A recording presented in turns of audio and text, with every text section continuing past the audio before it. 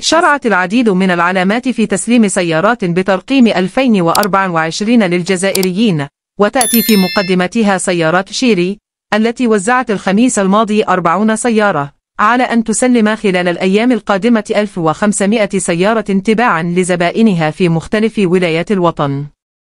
وتواصل علامات فيات وأوبل في تسليم سيارات 2024 للزبائن في مختلف ولايات الوطن. ومن جهتها أعلنت علامة جيلي أنها ستسلم السيارات الجديدة بترقيم 2024 لزبائنها بداية من شهر فيفري القادم.